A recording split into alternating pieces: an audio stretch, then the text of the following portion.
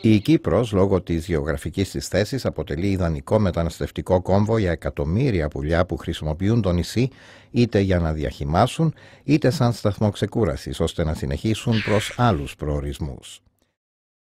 Η ραγδαία οικιστική και τουριστική ανάπτυξη των τελευταίων ετών αποτέλεσε και συνεχίζει να αποτελεί αρνητικό παράγοντα όχι μόνο για τα μεταναστευτικά πουλιά, αλλά και για τα επιδημητικά, καθώς μειώνονται όλο και περισσότερο τα ενδιαιτήματά τους, δηλαδή οι περιοχές που προσφέρουν τροφή, νερό, κάλυψη αλλά και θέσεις φωλιάσματος.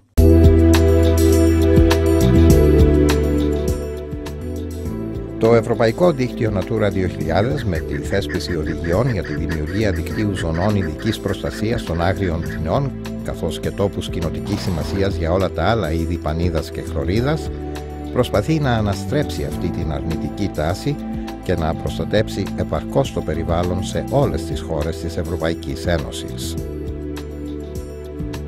Κάθε χώρα μέλος είναι υποχρεωμένη να ορίσει ένα αριθμό περιοχών οι οποίες περιέχουν είδη που περιλαμβάνονται στις δύο οδηγίες με σκοπό την προστασία των ειδών και την ανάληψη δράσεων προστασίας, διατήρησης και βελτίωσης των ενδιαιτημάτων τους. Οι περιοχές αυτές σήμερα καλύπτουν περίπου το 18% του εδάφους της Ευρωπαϊκής Ένωσης. Στην Κύπρο έχουν επιλεχθεί μέχρι σήμερα και έχουν γίνει αποδεχτές από την Ευρωπαϊκή Επιτροπή 63 περιοχές οι οποίες καλύπτουν περίπου το 28% της ελεύθερης Κύπρου και εμπίπτουν στις ευρωπαϊκές οδηγίες για τους οικότοπους και τα πουλιά. Η Ευρωπαϊκή Ένωση συγχρηματοδοτεί μέσω του προγράμματος LIFE έργα που έχουν στόχο την προστασία της φύσης και τη λήψη μέτρων για προστασία των διαφόρων ειδών και οικοτόπων. Μέσα σε αυτό το πλαίσιο το έργο Life for Birds, βελτίωση των παιδινών δασικών οικοτόπων για τα πουλιά στην Κύπρο, έχει εξασφαλίσει χρηματοδότηση από το πρόγραμμα LIFE με στόχο την υλοποίηση δράσεων που θα βελτιώσουν τις συνθήκες διαβίωσης επιλεγμένων πτηνών σε τρεις ζώνες ειδικής προστασίας. Την περιοχή Κόσι Παλουρόκαμπος, την περιοχή ποταμός Παναγίας Στάζουσας και το Κάβο Κρέκο. Οι κύριοι στόχοι του έργου αυτού είναι να εφαρμόσει μέτρα διατήρησης και διαχείρισης τα οποία θα βελτιώσουν ουσιοδός τις οικολογικές συνθήκες για τα επιλεγμένα είδη πτηνών, να αναδείξει τα πλεονεκτήματα που θα προκύψουν από την υιοθέτηση μιας διαφορετικής προσέγγισης στη διαχείριση των δασών, η οποία θα λαμβάνει υπόψη τις ανάγκες των πουλιών τα οποία διαμένουν μόνιμα ή επισκέπτονται τα δάση και να συνεισφέρει στην ενίσχυση της ευαισθητοποίησης του κοινού ως προς την ανάγκη της διατήρησης των άγριων πουλιών και των βιοτόπων τους, την καταπολέμηση της λαθροθυρίας και ειδικότερα της παράνομης παγίδευσης μέσα στις ευρύτερες περιοχές του έργου.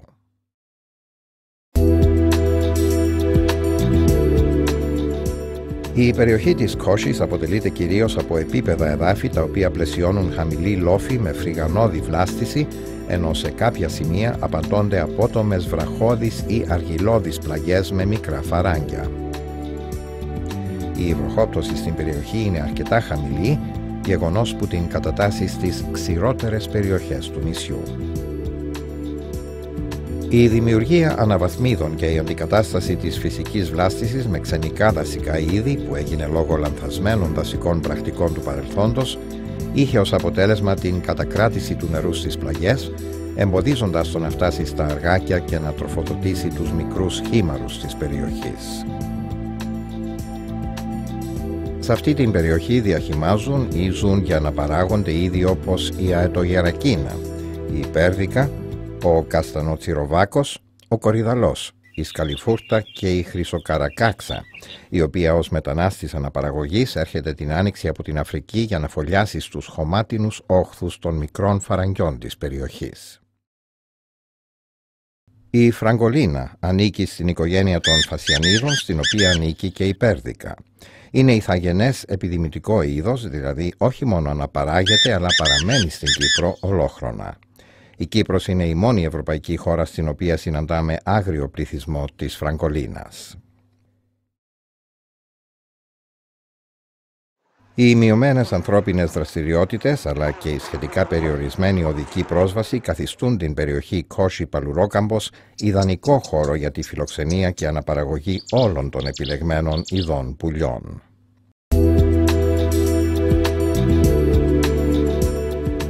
Η περιοχή ποταμός Παναγίας Στάζωσας είναι ημιορεινή και βρίσκεται στους πρόποδες του όρους Σταυροβουνίου. Διχοτομείται από ένα μικρό ποταμό, η κήτη του οποίου καλύπτεται με πυκνή βλάστηση τρεμηθιών και αεροδάφνων, στην οποία βρίσκουν καταφύγιο αρκετά είδη πτηνών. Οι λόφοι κατά μήκος του ποταμού καλύπτονται με χαμηλά φρίγανα, κυρίως μαζού και θυμαριού, ενώ στις επίπεδες περιοχές απαντώνται μικροί αγροί με κρυθάρι και ελαιόδεντρα. Η άγρια βλάστηση στην περιοχή αποτελείται κυρίως από τραχία πεύκη, κυπαρίσια, αγριοελιές, σχενιές και μοσφιλιές. Σημαντικά είδη που φωλιάζουν στην περιοχή αποτελούν η χρυσοκαρακάξα και η ενδυμική σκαλιφούρτα. Η σκαλιφούρτα είναι ενδυμικό είδος που αναπαράγεται μόνο στην Κύπρο και συχνάζει σε ανοιχτούς χώρους αλλά και σε δασωμένες και κατοικημένες περιοχές με μεγάλο εύρος υψόμετρου. Τρέφεται αποκλειστικά με έντομα. Ένα άλλο είδος που συναντούμε κατά τις μεταναστευτικές περιόδους στην περιοχή είναι ο παγκοσμίως απειλούμενος στεπόκυρκος, Κύρκους μακρόουρους. Επιδημητικά είδη είναι μεταξύ άλλων η αετογερακίνα που φωλιάζει στην περιοχή και ο σπιζαετός που χρησιμοποιεί την περιοχή προς εξέβρεση λίας. Η έλλειψη νερού κυρίως στους καλοκαιρινούς μήνες αποτελεί τον κυριότερο αρνητικό παράγοντα για τη διατήρηση της πτηνοπανίδας στην περιοχή και ένας από τους κύριους στόχους του προγράμματος είναι η εφαρμογή μέτρων που θα βελτιώσουν τη διαθεσιμότητα νερού και τροφής στην περιοχή.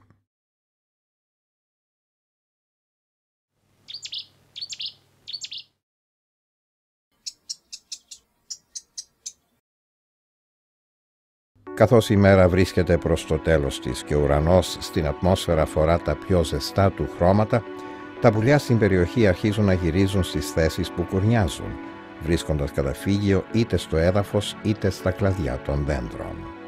Μια άλλη ομάδα πτηνών, τα νυχτόβια, θα βγουν από τις κρυψώνες τους προς αναζήτηση τροφής. Η κουκουβάγια είναι μόνιμος κάτοικος του νησιού όπως και το ανθρωποπούλι, Βγαίνουν τη νύχτα προς αναζήτηση τροφής, ενώ κατά τη διάρκεια της ημέρας κουρνιάζουν σε κουφάλες δέντρων, μικρές σπηλιές ή και τρύπες χαλασμάτων.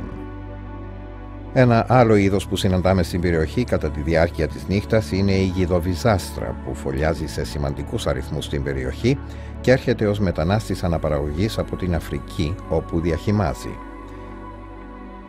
Η τρουλουρίδα αναπαράγεται στην περιοχή και προτιμά γυμνές εκτάσεις με πολύ αραιή χαμηλή βλάστηση. Βρίσκεται σε μικρούς αποκομμένους πληθυσμούς σε όλη την Κύπρο, με τους μεγαλύτερους αριθμούς να βρίσκονται στη Μεσαωρία.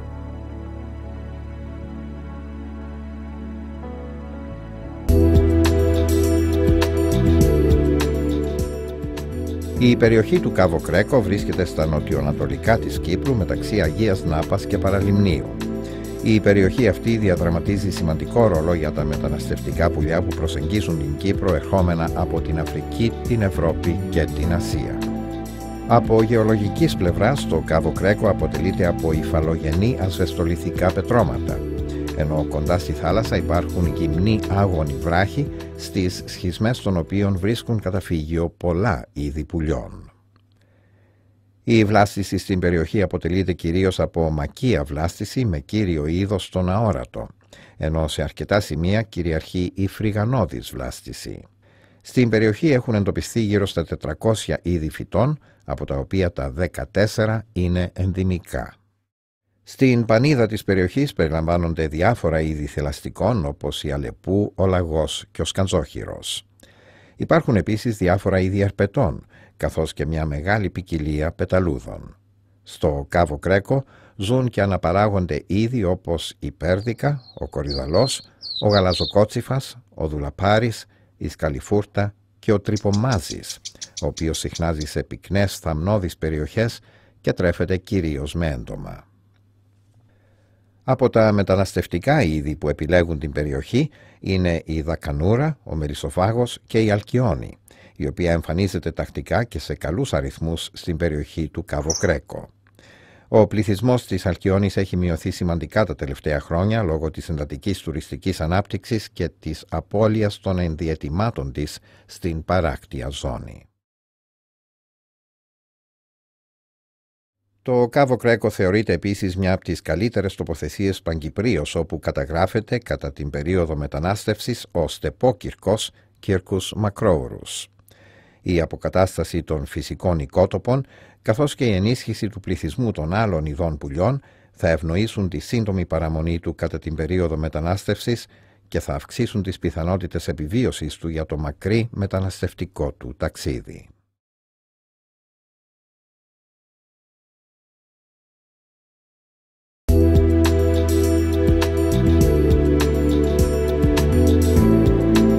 Οι κυριότερες απειλές που υφίστανται τα πουλιά στις τρεις περιοχές είναι η εποχιακή μείωση της διαθέσιμης τροφής και επιφανειακού νερού, οι δασικές πυρκαγιές, κυρίως κατά τους καλοκαιρινούς μήνες, η παράνομη παγίδευση με τη χρήση ξόβεργων και δικτύων, η παρουσία σκύλων για εκπαίδευση σε περιόδους αναπαραγωγής, η αυξημένη πρόσβαση, οι κλιματικές αλλαγές και η ξηρασία.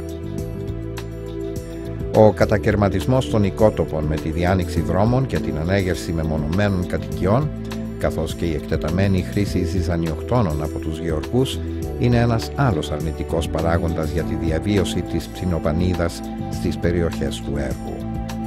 Η πιθανή κατασκευή αιωλικών πάρκων στην περιοχή ποταμός Παναγίας Στάζουσας αποτελεί δυνητική απειλή για το είδος μπούτεο ρουφίνους που αναπαράγεται στην περιοχή. Η περιοχή Κάβο Κρέκο πέραν των κοινών απειλών έχει να αντιμετωπίσει ένα επιπλέον πρόβλημα. Καθώς είναι μια περιοχή με μεγάλη τουριστική κίνηση, ιδίως κατά τους θερινούς μήνες, η διαρκής μετακίνηση πεζών και οχημάτων μέσα στον οικότοπο προκαλεί οχληρία στα πουλιά και είναι μια σοβαρή απειλή για τη διατήρηση του πληθυσμού τους.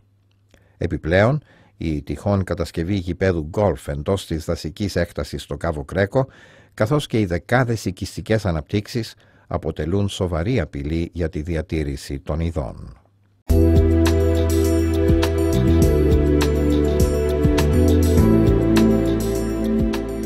Το έργο Life for Birds έχει προχωρήσει στην υλοποίηση συγκεκριμένων δράσεων για την αντιμετώπιση των απειλών που υφίστανται τα πουλιά στις περιοχές αυτές, όπως είναι η τοποθέτηση 200 τεχνητών φωλιών η δημιουργία παραδοσιακών αγρών και ποτίστρων για να μπορούν τα πουλιά να βρίσκουν περισσότερη τροφή, νερό και χώρους φωλεοποίησης. Έχει προχωρήσει επίσης στην απομάκρυνση ξενικών φυτικών ειδών και την αντικατάστασή τους με είδη που υπήρχαν παλαιότερα στις περιοχές. Η εντατικοποίηση των περιπολιών στις περιοχές του έργου κατά την εποχή της αυξημένης λαθροθυρίας, ιδίως στην περίοδο μετανάστευσης, θα συμβάλλει αποτελεσματικά στη μείωση της λαθροθυρίας και της παράνομης παγίδευσης. Παράλληλα, μέσω της παρακολούθησης, έχει προχωρήσει σε μια εκτίμηση του πληθυσμού των επιλεγμένων ειδών στις υποαναφορά περιοχές.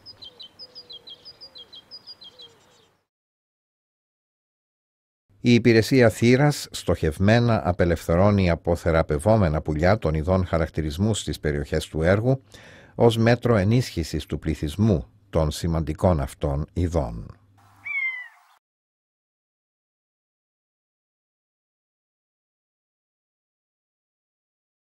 Το έργο Life for Birds βελτίωση των παιδινών δασικών οικοτόπων για τα πουλιά στην Κύπρο μέσα από τις συγκεκριμένες δράσεις που έχει αναπτύξει στις τρεις περιοχές στοχεύει στην προστασία της βιοπικιλότητας, τη βελτίωση του καθεστώτος διατήρησης των ειδών χαρακτηρισμού των περιοχών αυτών την ευαισθητοποίηση του κοινού σε θέματα άγριων πτηνών, τη μείωση της λαθροθυρίας και της παράνομης παγίδευσης. Ο άνθρωπος μπορεί να συνεπάρξει με τη φύση, αρκεί οι ανθρώπινες δραστηριότητες στις συγκεκριμένες περιοχές να βρίσκονται σε αρμονία με το φυσικό περιβάλλον και να λαμβάνουν υπόψη τις ανάγκες των πουλιών.